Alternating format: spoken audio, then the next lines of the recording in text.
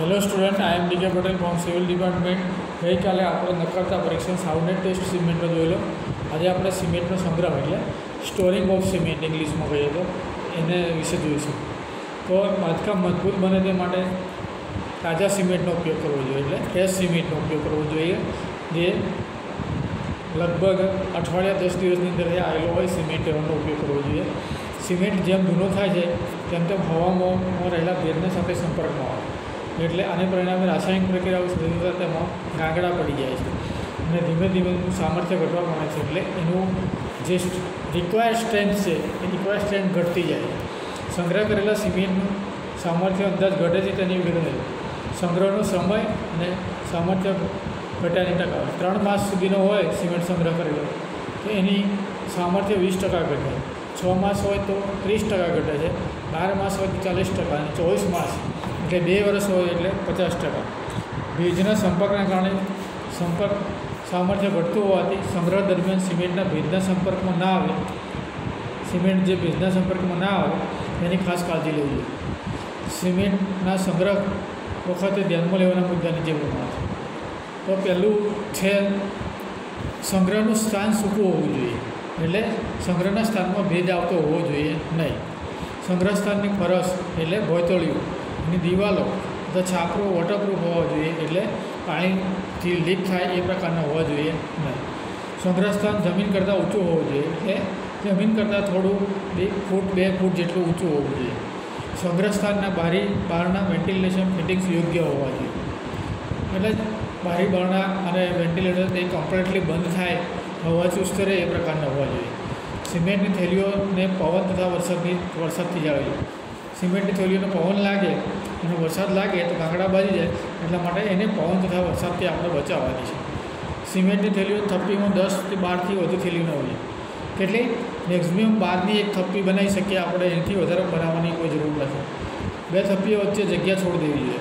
બે શક્ય શક્ય હોય તો બે થપ્પીઓ વચ્ચે એક ફૂટ અંતર છોડી દેવું જોઈએ. સિમેન્ટની ગુણોની થપ્પીઓ દિવાલથી ન્યૂનતમ ત્રણસો એમએમ અંતરે હોવું જોઈએ. એટલે ત્રીસ સેન્ટીમીટર એટલે દિવાલથી એક ફૂટ જેટલી સિમેન્ટની ગુણોની થપ્પીઓ દૂર હોવી જોઈએ. સામાન્ય સંજોગોમાં ત્રણ માસથી વધુ સિમેન્ટનો સંગ્રહ કરવો જોઈએ નહીં. એટલા ત્રણ માસથી વધારે સિમેન્ટ સંગ્રહ કરેલો હોય, એનો ઉપયોગ કરવો જોઈએ નહીં. સિમેન્ટની થેલીઓનો ઉપયોગ તેમની આવકને ધ્યાન રાખી કરવો જોઈએ. વહેલી આવતી થેલીઓ છે પહેલાં વાપરે અને પછીથી આવતી થેલીઓ પછી વાપરવી. જોઈએ હંગામી સંગ્રહ કરવા માટે ઊંચું પ્લેટફોર્મ બનાવવું જોઈએ અને થેલીઓને ટાંકી દેવી જોઈએ. હવે આજે જોઈશું એગ્રીગેટના પ્રકારો.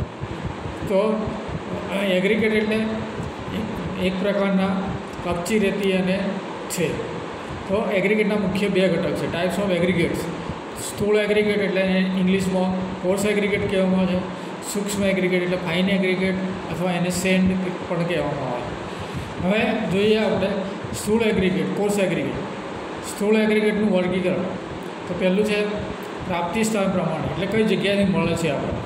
તો ગ્રેવલ. નદીના તળિયે મળી આવતા બે એમએમથી વધુ માપ ધરાવતા સુવાળા ગોળા ધરાવતા એગે એગ્રીગેટ્સ છે.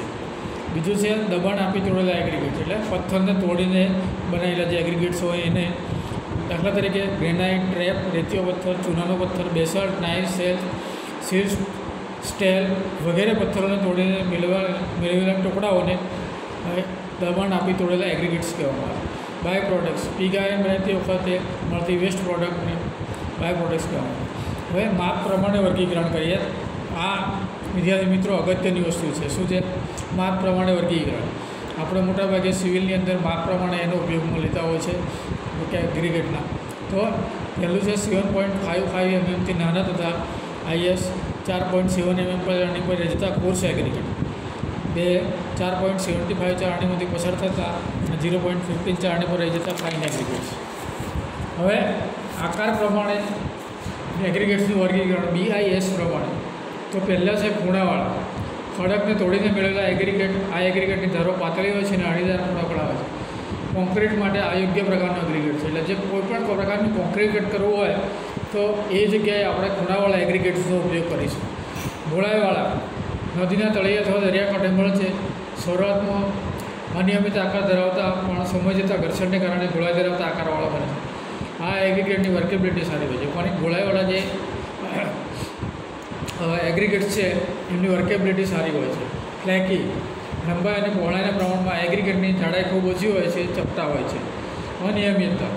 કોઈપણ આકાર અને માપ ધરાવતા એગ્રીગેટ્સ હવા એગ્રીગેટ્સ ગોળ ખૂણાવાળા કે ચપટા હોઈ શકે છે. હવા એગ્રીગેટ્સમાં પોલાણો વધુ રહેતા હોવાથી કોન્ક્રીટ માટે ગયો નથી. કે અનિયમિતતાવાળા. હવે જોઈએ એગ્રીગેટ્સની ઘનતા જોઈએ. તો ડેન્સિટી ઓફ એગ્રીગેટ તો પહેલું છે વધુ ઘનતા ધરાવતા. હવા એગ્રીગેટની ઘનતા ટુ પોઈન્ટ નાઇનથી વધુ હોય છે. બેરાઇટ્સ શોર્ટ મેગ્નાઇટ આ પ્રકારના એગ્રીગેટ્સ છે. બીજું છે સ્ટાન્ડર્ડ સામાન્ય એગ્રીગેટ આ એગ્રીગેટની ઘનતા બે પોઈન્ટ પાંચથી બે પોઈન્ટ સાત વખતે હોય છે. ગ્રેવલ છે, રેતી છે બેસાલ્ટ ગ્રેનાઇટ, સ્ક્વાડ, સેન્ડસ્ટોન, લાઇમસ્ટોન વગેરે સામાન્ય પ્રકારના એગ્રીગેટ્સ. હળવા એગ્રીગેટ્સ એટલે હલકા એગ્રીગેટ્સ. સોળસો કેજી મીટર ક્યુબથી ઓછી બલ્ક ડેન્સિટી ધરાવતા એગ્રીગેટ્સ આ પ્રકારના એગ્રીગેટ હોય છે. એમાં કુદરતી કયા મળે છે? તો પ્યુઆઇસ ડાય ઓટોમેટિક સેન્ટ કૃત્રિમની અંદર મળે આપણને સિન્ડર, ફોમ ફોર્મ સિલે બ્લોડ ક્લે સ્ટિન્ડર હાયસ થેન્ક યુ હવે નેક્સ્ટ વીડિયો આવતા લેક્ચરમાં જોઈશું